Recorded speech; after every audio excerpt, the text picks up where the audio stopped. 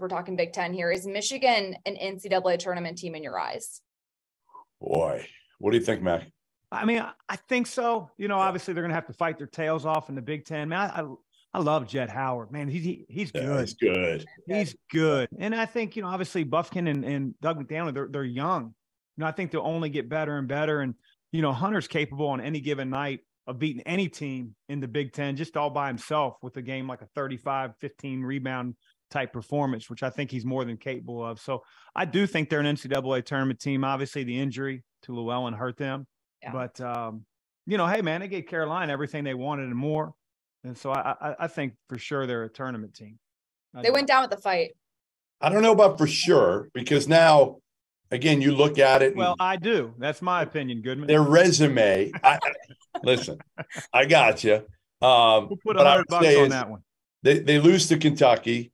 They, they they lose to Carolina. They just got some work to do in the Big Ten. I think again, the beauty of the Big Ten is you've got so many yeah, opportunities. opportunities. You know, th- those two games didn't shock me as much as the Arizona State game. Yeah, I, that I, hurt, especially the, the, margin. You know, that one really hurt. But I, sometimes games like that get your kids' attention, um, and, and I like the way they played tonight. So it'll be interesting.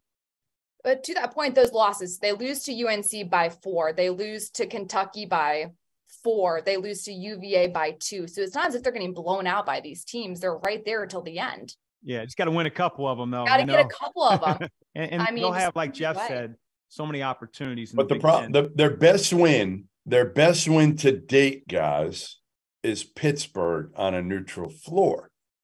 I mean, they got to do some stuff in, in league play here. Now I know again, there's a there's a bunch of teams right now that if if the season ended today would actually get in the NCAA tournament without having like a big time resume win. Right. So they'll get them. They they just gotta you know they got to knock off a few of these and they, they need better. I mean, to me, you're gonna need more consistent.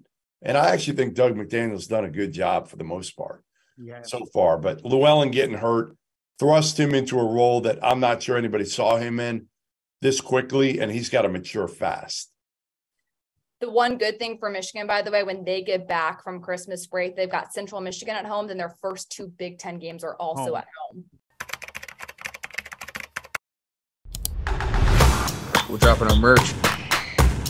We got to start calling Underwood Daddy Brad. I'm a big pod guy.